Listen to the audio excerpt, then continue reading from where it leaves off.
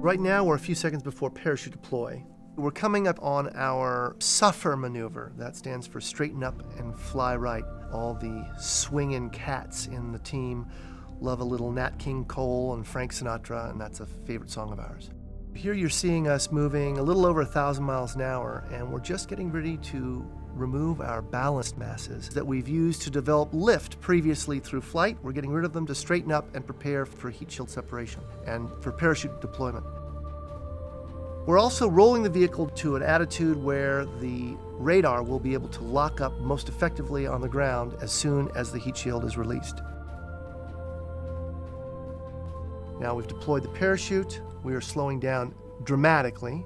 That's at about 800 miles an hour, Mach 1.7 at Mars, and it gives us about a 12 G deceleration. Here we have a split screen view. On the left is a computer simulation driven by eyes on the solar system. And there's heat shield separation, and now you see in the right hand of the screen the view from directly below the rover.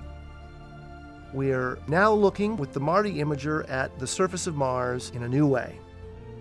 We get some black sand dunes underneath us there, and that red, iron rich soil that gives Mars its natural color.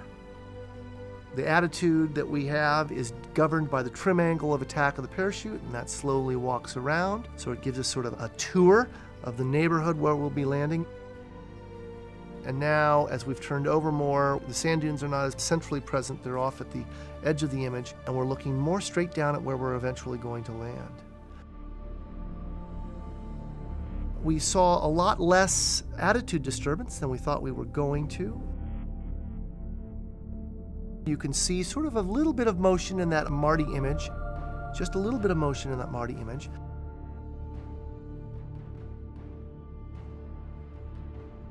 And so we go from that 800 miles an hour rapidly down. Now we're running at about a little under 300 miles an hour. We were very happy with this nice sort of calm view of the ground as we slowly approach. Now we're moving at about a little less than 200 miles an hour, and we're coming up on our separation of the power descent vehicle and our transition from parachutes to rockets, and that should be coming, and there it is.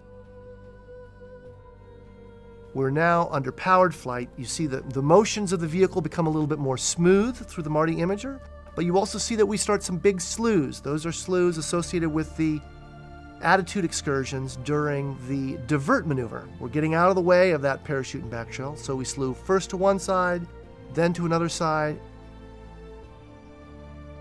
moving at 32 meters a second, straight down. Now we start decelerating, that kicks up the dust. We're slowing down to just under two miles an hour.